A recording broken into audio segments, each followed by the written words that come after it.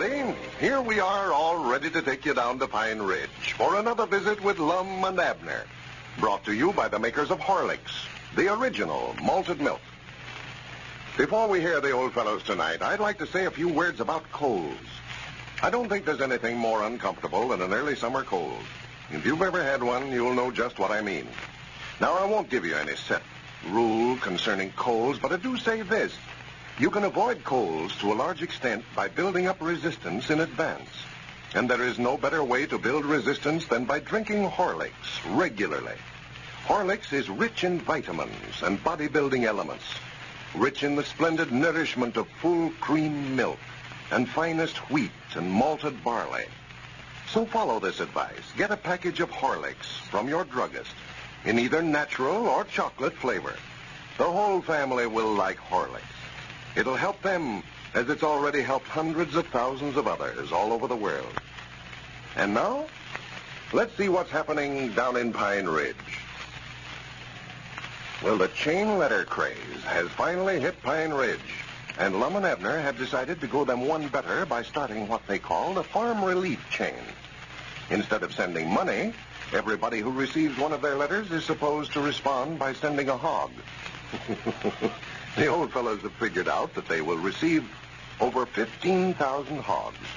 And as we look in on Pine Ridge today, we find them down at the Jot 'em Down store getting ready to receive them. Lum is talking over the telephone. Listen. Yeah, Ezzy, this here's Lum Edders. Yeah, have you ordered the lumber yet to remodel the store with? Well, good. Don't do it then. No, we ain't going to remodel. We're, we're going out of the store business. Yeah, we're going into hog business. hog business. Yeah, me and Abner started one of them chain letters, only instead of sending money, we're having everybody send one another a hog. Oh, you did? uh, who'd you get yours from? Well, I do know. Ezra said he got a letter a while ago from Grandma Matthews. Well, Well, we're going to have to use the money we was aiming on remodeling the store with to fence up some of the land to put them hogs in. Yeah, I might figure with you on doing uh, doing that job of fencing first, building the fence and all that. Well, that's right, you have. Said you got to build a fence for yourself first, for the hogs you're going to get. Well, uh, who you reckon we could get to do that, Ezry? Uh, how about Luther Phillips? I know he does uh, carpentering, uh, uh, carpent. He's a carpenter. Oh, he did. Well, I guess you'll have to build one for yourself then. Well, we'll find somebody, I reckon. All right, much obliged, Ezry. All right, goodbye.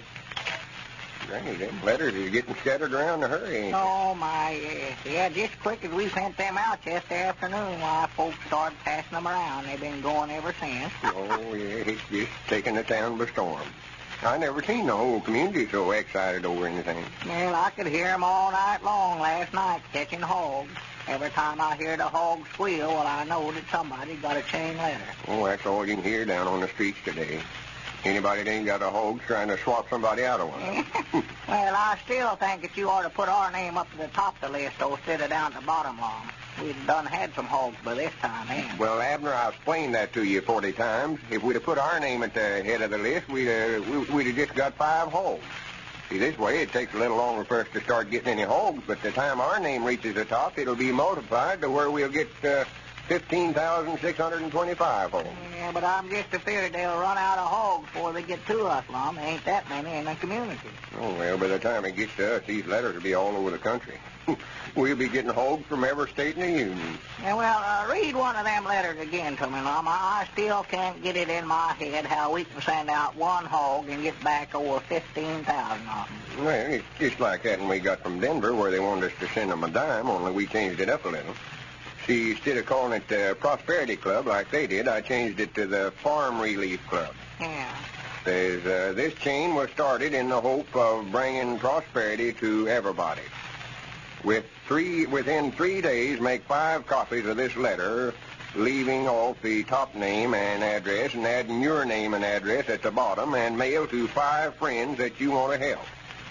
In omitting the top name, send that person one hog as a donation. In return, as your name leaves the top, you should receive 15,625 hogs. Is this worth a hog to you? See, them first five letters we sent out, they all send a hog to the widow Abernathy. I thought I'd put her name to the top of the list, thought I'd help her out that much, you know. Yeah, well, she's done got the hogs. Grandpappy Spears said that he'd taken one over to her this morning, and she already had four then. And uh, Witter just prized to death. You know, she didn't know what was going on. Folks started bringing them in there. Yeah, I reckon I ought to telephoned her up and told her about it, so she'd been expecting them. Had a pin fixed for 'em. yeah, well, that's what's worrying me about ours, too, Lum. Where are we going to put them after we get them? Yeah, I was just thinking about that a while ago. That's going to take a lot of ground to keep that many hogs on, you know. Oh, me, I ain't got room on my whole farm for that many.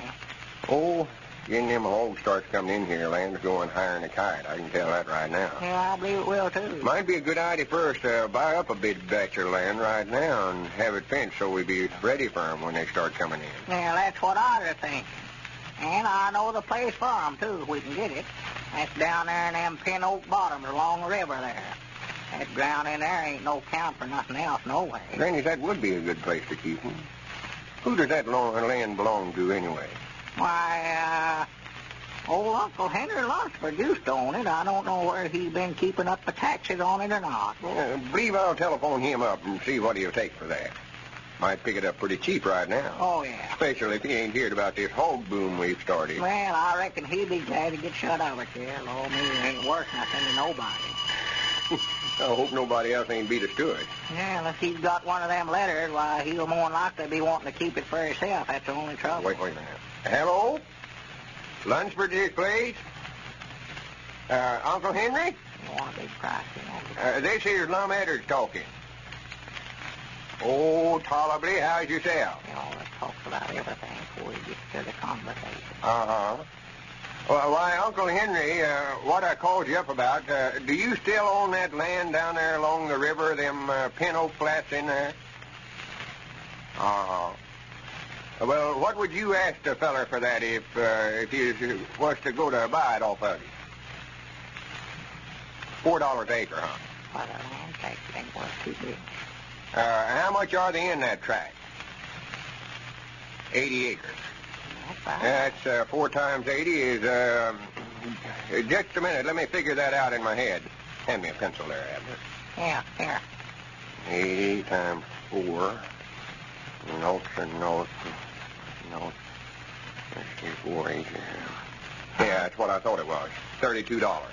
No, no, wait a minute. Three hundred and twenty. Hello. Uh, tell you what we'll do, Uncle Henry. We'll give you three hundred dollars for it. That's about ten times what it's worth. All right, just make out a deed to me and Abner. We're in partners on it. All right, you fetch it over here. We've got the money whenever you deliver the deed. Well, no, no backing out on us now. We're just, we're counting on it. All right, Uncle Henry. All right. Goodbye. Doggy, that's a pretty big price to be paying for that kind of land, ain't Lum? Yeah, it's more than it's worth, all right, but I figured we'd better buy it while we could before somebody else beat us to it. Oh, well, we'll have more money than we know what to do with anyhow. Why, of course. Now then, we got to buy some wire and build a fence around it. Yeah, you know, these hogs ain't all profit. I found that out. Yeah, you ain't complaining about spending a little money to fix a place to keep 15,000 hogs it's been give to you, are you? Well, no, I ain't a complaining. you said I never stopped to think that we'd have to fix a place to keep 'em. I expect we can get the Macmillan boys to build that fence for us. Yeah? Oh, well, that is if they ain't got one of them chain letters themselves. That's the trouble.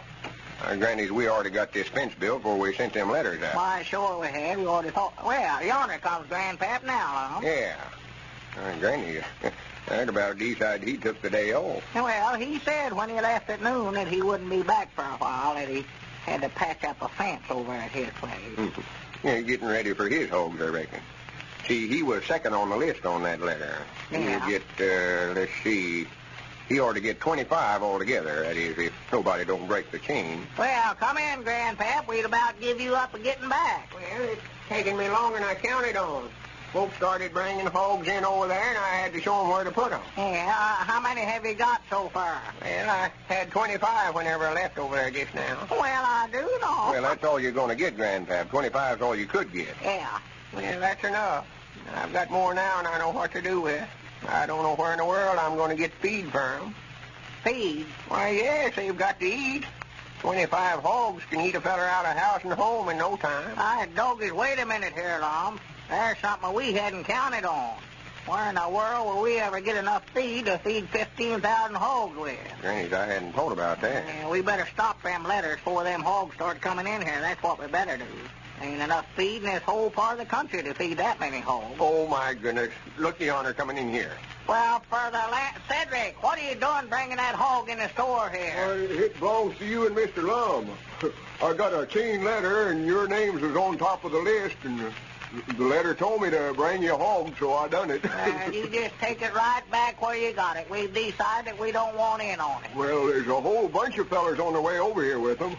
See, yonder comes Luther Phillips and Luke Spears, both leading hogs now. Oh, my goodness. Look here, Lum. Looky there for the Wait, land's wait a minute. Be quiet, swung I've got an idea. Don't worry. Uh-huh. Just leave the hog here, Cedric. Feeding them hogs ain't going to be no trouble at all. All right, Grannies, we'll start another chain letter on feed. Have everybody send one another a bushel of corn, and that way we'll get over 15,000 bushels of corn. uh, Grannies, I know you was... Well, now they'll have to find a place to store that corn. there seems to be no end to a chain letter. And now, a final word before we leave Lum and Abner for tonight. If you get tired easily, don't have the pep and energy you feel you should have, I wonder if it's because you're not getting sufficient sound, restful sleep at night. It's amazing what a difference a good night's rest can make in a person. So I suggest you do this. Before going to bed tonight, drink a glass full of Horlicks, malted milk, hot. Here's what Horlicks does. It soothes and relaxes you, helps you off to sleep quickly and naturally. Once asleep, you sleep more soundly, awake more rested and refreshed in the morning. Horlicks can help you just as it's helping thousands of others. Try it. Get a package of Horlicks from your druggist if you haven't any on hand, in either natural or chocolate flavor. Then, drink it every night. This is Carlton Bricker speaking for Lum and Abner and Horlicks, who bid you all good night and good health.